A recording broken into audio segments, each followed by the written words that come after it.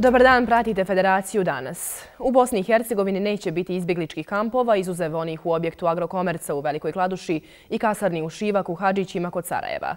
Poručio je ovo ministar bezbjednosti BiH Dragan Mektić nakon sastanka operativnog štaba za migracije BiH. Bosna i Hercegovina će dati sve od sebe da zaštiti svoju granicu, a slanje vojske biće posljednja opcija, poručio je. Mi smo žrtva migrantske krize i trpimo posljedice jer migranti žele iz jednog dijela Europske unije, u prvom redu Bugarske i Grčke, doći do drugog dijela u zapadnu Evropu, rekao je ministar sigurnosti VIH. Zbog toga sumnja u namjere koje stoje iza najava da Evropska unija neće finansirati adaptaciju objekta agrokomerca u Velikoj Kladuši jer je preblizu granici sa Hrvatskom.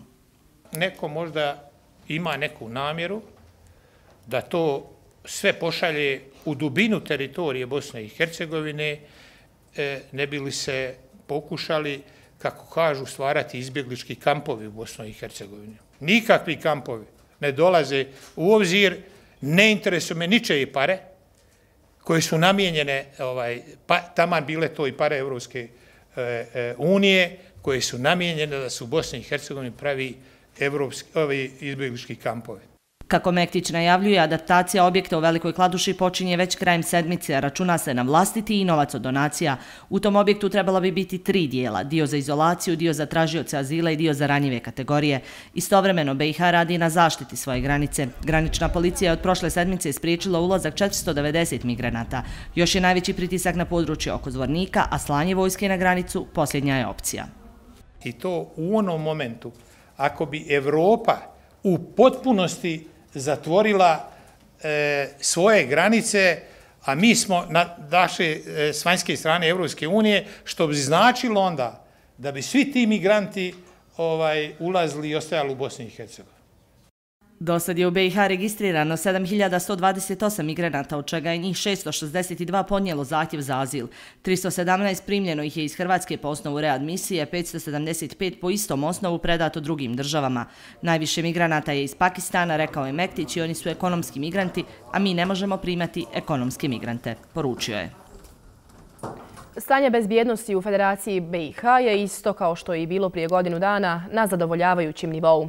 Rekao je danas u Bihaću na sastanku koordinacije direktora FUPA i policijskih komesara u Federaciji BiH Dragan Lukač, direktor Federalne uprave policije. Međutim, migrantska kriza je zahvatila područje Federacije, posebno Unsko-Sanskog kantona, o čemu se najviše govorilo na sastanku. Mnogo imigranata koji nemaju dokumente, razlozi zato su više struki. Neki od njih koji dolaze iz zemalja gdje nema rata predstavljaju se kao izbjeglice u nadi da će lakše doći do zemalja Zapadne Evrope. Na novinarski upit postoji li mogućnost da među migrantima ima pripadnika Isila, Dragan Lukač kaže. Ta bojazan je vrlo opravdana i vrlo izbjesna. Evo, sve sam te rekao. A suštinske kontrole već na samom ulazku migranata u našu zemlju i nema pitanje i sa ovim ljudima koji su već došli, prošli kroz Bosnu i Hercegovinu, u kojoj mjeri je pravilno i u skladu sa zakonom su postupali državni organi, od granične policije pa ne. Veći broj ti ljudi je prešao na zvaničnim ovaj, graničnim prelazima. Malo je njih prešlo preko nekih brda i planina, šuma ili ne znam nijak tamo došli. Novca za bolje obezbjeđivanje granica države ima. Iz Evropske komisije tvrde Bosni i Hercegovini je 25 miliona eura osigurano kroz različite programe jačanja integrisanog upravljanja granicama. To uključuje 4 miliona za tehničke pomoći, 3,5 e, miliona eura u opremi. U smislu rekonstrukcije i osposobljavanja prihvatnih centara, sredstva poreskih obveznika Evropske unije u iznosu od 2,5 miliona eura su iskorištene samo u proteklom periodu.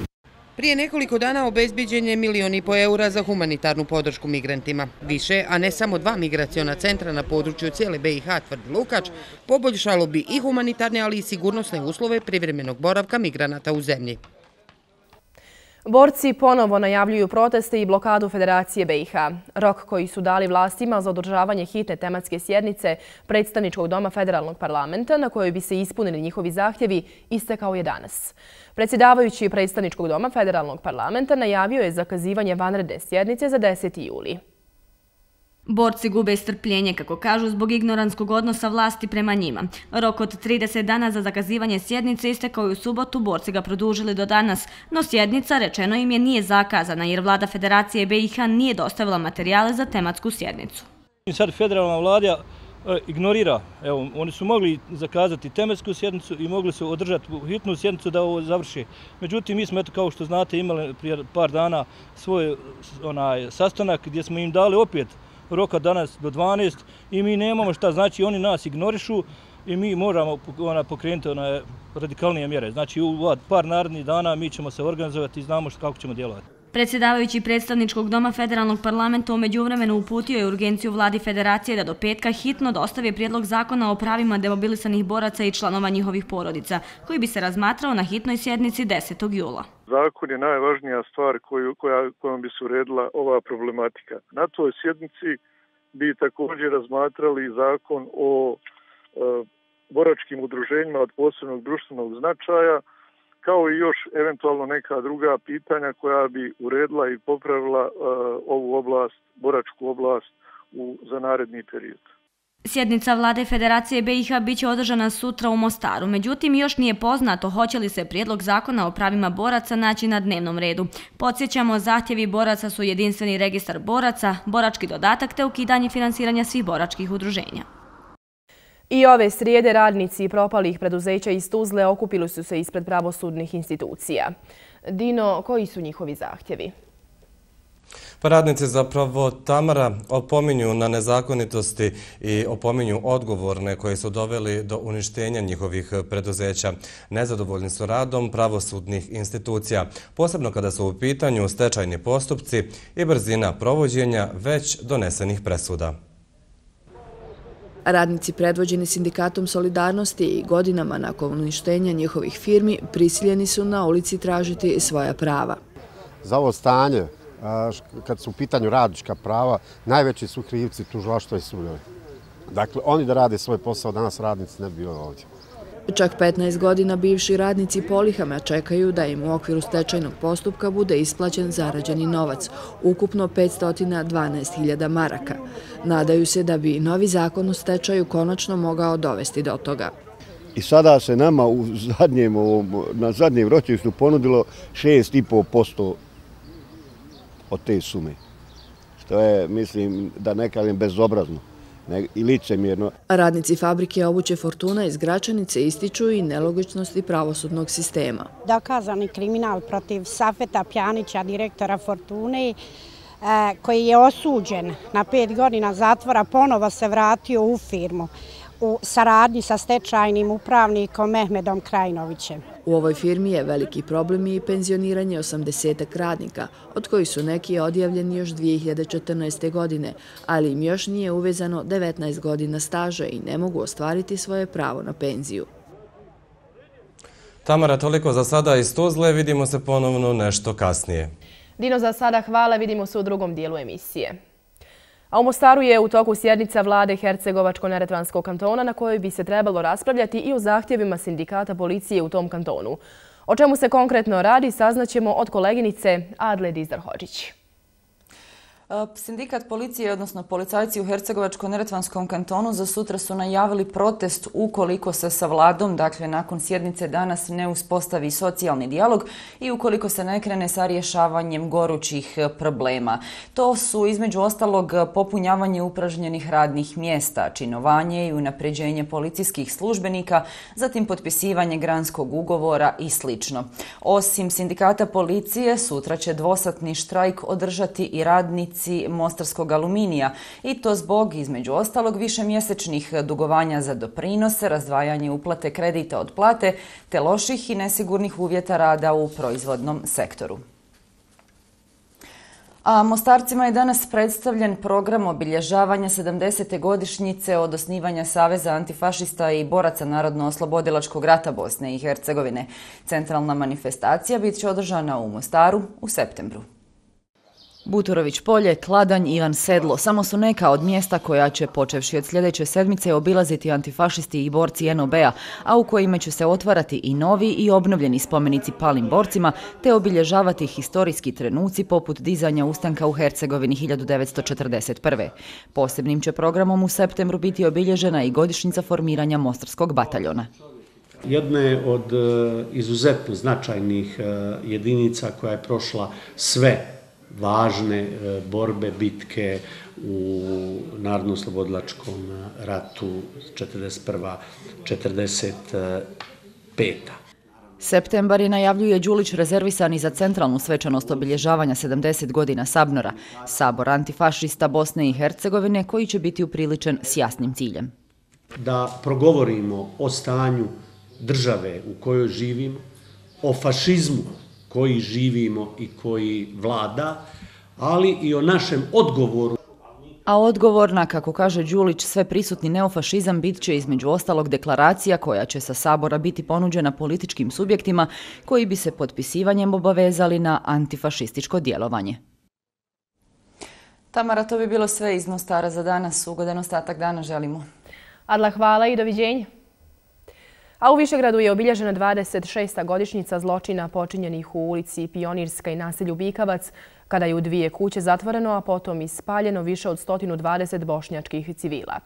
Pred Međunarodnim tribunalom za ratne zločine u Hagu za ovaj, ali i druge zločine počinjene u Višegradu, Milan Lukić pravosnažno je osuđena na doživotnu kaznu zatvora, dok je njegovom rođaku, Sredoju Lukiću, određena je kazna zatvora u trajanju 27 godina. Posmrtni ostaci žrtava živih lomača u Pionirskoj i na Bikavcu nikada nisu pronađeni. Tokom izricanja presude Milanu Lukiću, Haški tribunal je konstatovao kako u dugoj povijesti čovječanstva kada se govori o nehumanim postupanjima, zločini u Pionirskoj i Bikavcu su jedan od najgorih. U živoj lomači u Pionirskoj ulici nestali su najbliži članovi porodice Rame Kurcpahića. Oca, majku, snahu, troje djece odbrata, 11, 12 i 10 godina. I još Amidžić, Amidžić njih, ti ovdje, 57 iz koritnika bilo sami. To mi je žalosno, nikad kosti nisam pronašao. Zaštićena svjedokinja zločina u Pionirskoj kaže kako je u podrum kuće ušla posljednja zajedno sa svojim tada maloljetnim sinom i uspjela iskočiti kroz prozor. Išli smo jedno par metara uz vodu, naviše, pod neki nečiju kuću. Tu smo zanočili, tamo je vrištalo, jaukalo, možda satima, za, dva, koliko je. I samo sam čula za njih glas kada je neka žena rekla, joj moja lijepa moja. Zločin u Pionirskoj počinjen je 14. juna 1992. godine. 13 dana kasnije na današnji dan više od 70 civila spaljeno je u kući Mehe Aljića na Bikavcu. Jedina preživjela je Zehra Turjačanin. Porodice žrtava ističu zadovoljstvo nedavnim izručenjem Radomira Šušnjara, koji se godinama nakon učestvovanja u zločinu kriju u Francuskoj. Duga je borba bila za njegovo izručenje. Nije samo Šušnjar, Radomir, zvani Lalco, još pet, šest njih ima, neki žive ovdje u Višegradu, koji su učestvovali u živoj lomači e, pionirska. Ni 26 godina nakon počinjenih zločina posmrtni ostaci žrtava živih lomača u Višegradu nisu pronađeni. Polaganjem cvijeća na spomen ploču i mezar ubijenog policajca Tarika Ljubuškića u Bugojnu će članovi porodice, kolege policajci i prijatelji obilježiti osmu godišnjicu terorističkog napada na zgradu policijske uprave u ovom gradu. Uz smrt Ljubuškića u ovom terorističkom napadu povrijeđeno je šest policijskih službenika, među kojima najteže policajka Edina Hindić. Sud Bosne i Hercegovine je za ovaj napad osudio Harisa Čauševića, zvanog OKS, na 35 godina zatvora. Evropska banka za obnovu i razvoj dodijelila je kredit od 10 miliona evra kao investicioni grant Evropske unije od milion evra za poboljšanje energetske efikasnosti u kantonalnoj bolnici Zenica. Kreditom će se finansirati sistem grijanja, čime će između ostalog biti smanjeno i zagađenje vazduha. Usluge kantonalne bolnice Zenica koristi oko 450.000 stanovnika. Rok za otplatu kredita je 15 godina sigurno da će ova investicija imati značajne okolinske koristi, pozitivan utjecaj na stanovnike Zenice i okoline, a sasvim normalno bit će povećan kvalitet i učinkovitost usluga koja pruža Zenička bolnica. Osim toga, pomoći će da se pospješi grijanje u toku zimskih mjeseci u bolnici, ali isto tako hlađenje tokom ljetnih mjeseci i da se postigne bolja energetska efikasnost. 10 miliona eura namijenjeno je za rekonstrukciju bolnice u koju je uključena i izgradnja novog energetskog bloka jer stari datira iz 1958. godine. Benefiti su višestruki. I na kraju svakako podzanje efikasnosti zdravstvene zaštite građana Zeničko-Dobojskog kantona. A kada će spomenuti milioni biti operativni, pitali smo prisutne. Prije izbora. U nastavku slikom opet idemo do Tuzle i kolege Dina Durmića. U Tuzli su ovih dana isplaćene novčane podrške u poljoprivredi u ruralnom razvoju za tekuću godinu. Dino? Vlada Tuzlanskog kantona isplatila je zaključno sa martom ove godine sve novčane podrške poljoprivrednicima koje su planirane u 2017. godini, a riječ je o 3,3 miliona maraka. Osim toga, na sjednici vlade usvojen je i novi program podrške za 2018. godinu.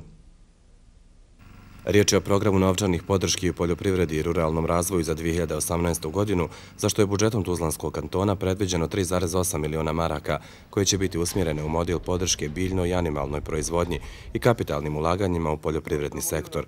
U odnosu na sredstva iz prethodne godine, ovogodišnja su veća za 500.000 maraka. U programu za 2018. godinu došlo je do povećanja jediničnih cijena za proizvodnje koje su predmet ovog programa kod većine proizvodnji u odnosu na 2017. godinu. Poljoprivredni proizvođači koji imaju registrovan obrt za svaki vid proizvodnje koji je predmet novčane podrške imaće 20% veći iznos po jedinici proizvoda, što je također uvršteno u ovaj program. Vi znate da je intencija kantonalnog ministarstva i ove vlade da imamo što više broj registrovanih obrta u primarnoj poljoprivrednoj proizvodnji i to nas je opredijelilo da idemo u ovom pravcu. No ono na što se u poljoprivrednoj proizvodnji ne može uticati su vremenske prilike koje su ove godine smanjile rod i plasman jagoda. Jagoda je krenula, došlo je do, do, do pada temperatura i snijega, tako da je posle toga jagoda jednostavno krenula u, u naglo zrenje, tako da smo imali sezonu od 20 dana branja, što inače u, u pročiku veramo 45 dana. Kao što je bio slučaj i do sada, vlada Tuzlanskog kantona će putem resornog ministarstva i u saradnji sa Federalnim ministarstvom poljoprivrede nastaviti pomagati proizvođačima u ovim krajevima, a sve u cilju podrške i što boljeg plasmana određenih proizvoda na tržište. Tamara, bilo bi to sve iz Tuzle. Doviđenja. Dino, hvala za uključenje u federaciju danas. Doviđenje. A u Zenici je održana završna konferencija trogodišnjeg projekta Gorivo iz otpada, čiji su nosio civili, Njemačka organizacija za međunarodnu saradnju Gizi, tvornica cementa Kakanje sa partnerima Agencijom REZ i Mašinskim fakultetom Zeničkog univerziteta. Cilj je bio osigurati preduslove da se i u našoj zemlji dio komunalnog otpada prerađuju energente za potrebe industrije. Cementara Kakanj učinila je pionirske korake korištenjem goriva proizvedenog iz dijela čvrstog komunalnog otpada u tehnološkom procesu. Za cementar u svakom slučaju ekonomski benefit koji će podići nivo naše kompetitivnosti, odnosno konkurentnosti na tržištu, a za lokalnu zajednicu znači rješanje problema otpada. Ovakva praksa prerade komunalnog otpada u energentu svijetu je odavno razvijena. U našoj zemlji ova se tema tek otvara zahvaljujući aktivnostima u okviru projekta Gorivo iz otpada. Ono što je jako bitno što smo pokazali pokazali sa finansijske tačke gledišta je da e, čvrsti otpad ne proizvodi samo troškove, čvrsti otpad može zapravo biti korišten da bi se proizvela energija i e, za sticanje prihoda. Jako je bitno reći da goriva iz fosilnih izvora koja su najčešće koriste su e, veliki proizvođači plinova koji prave efekat staklene bašte korištenje goriva iz otpada se i taj efekat umanjuje, znači to je taj veliki ekološki benefit. Samo u Zeničko-Dobojskom kantonu godišnje se proizvede oko 110.000 tona otpada. Gotovo polovina za sada završava na divljim deponijama. No i količina koja se propisno odlaže ekonomski bi opravdala postojanje kapaciteta za preradu u gorivo. U narednom periodu ćemo vidjeti da iznađemo i uložimo ogromne napore da napravimo fabriku koja će biti tu locirana i gdje će e, e gorivo iz otpada koristiti cementara kakalj. S obzirom da imamo intelektualni kapacitet, da imamo sirovinu, dakle sasvim dovoljno otpada, e, ne bi bilo dobro da sebi dozvolimo da mi uvozimo gorivo iz otpada iz okruženja. Zato je nužno prije svega u javnosti izgraditi stav da je otpad sirovina, a onda i mijenjati navike odlaganja, jer samo selektirani otpad može biti nova vrijednost, a za okolinu neprocijenjiva. Potpisivanjem novih ugovora sa izvođačima radova, opština Tešanj nastavlja izgradnju kanalizacijonog sistema ukupne vrijednosti oko 24 miliona maraka. Ovih dana će biti nastavljena gradnja novih 5 km mreže kroz opštine Tešanj i Usora, u što će biti investirano 2,8 miliona maraka. Uz sredstva opštine, gradnja se finansira iz kredita Evropske investicione banke, Fonda za okoliš i sredstava iz vodnih naknada. Sa izvođačima radova potpisani su ugovori za izgradnju 5 km nove kanalizacione mreže na dionicama Novo selo Tešanjka i Ljetinić Kraševo, gdje je planirana gradnja kolektora za prečišćavanje. Važnost ovog projekta je dakle što će on e, svojom gradnjom spojiti prijethodno tri izgrađene cijeline, dakle imat ćemo jedan sistem koji je povezan.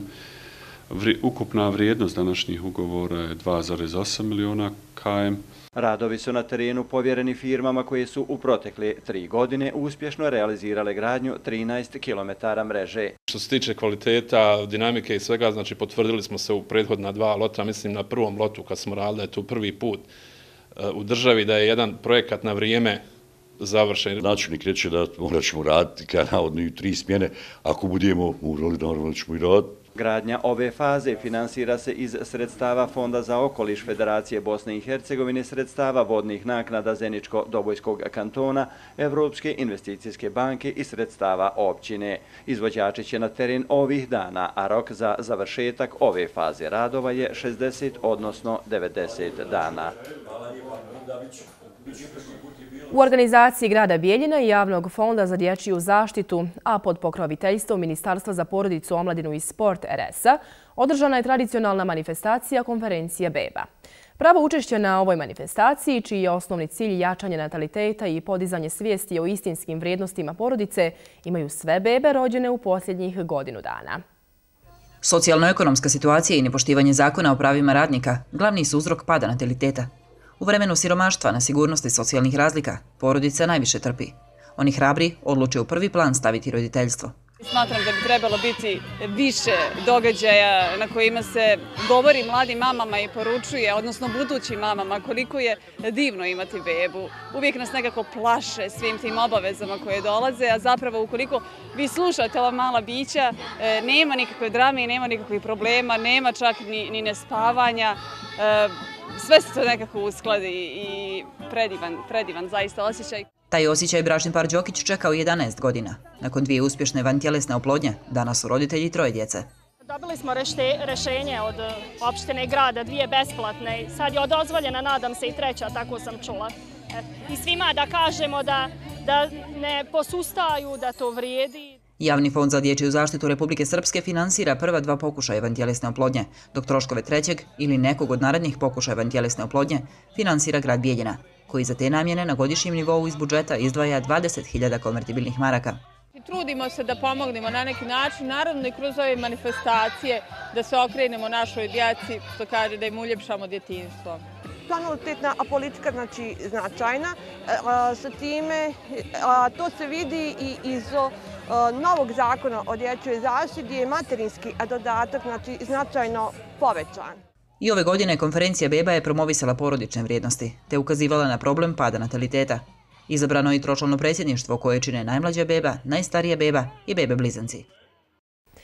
Centralna banka Bosne i Hercegovine i BH Pošta obilježile su 20. godišnicu konvertibilne marke. Tom prilikom promovisana je poštanska marka koja je štampana u tiražu od 10.000 primjeraka sa nominalnom vrijednošću od marku i po. Guverner Centralne banke BiH i direktor BiH Pošte istekli su između ostalog da svih ovih godina vrijednost konvertibilne marke izražena u evru nikada nije dovedena u pitanje. Podsjećanja radi, U doba kada je konvertibilna marka puštena opticaj u Bosni i Hercegovini su postojale i korještene su četiri valute, od kojih je njemačka marka bila prihvaćena na cijeloj teritoriji Bosne i Hercegovine.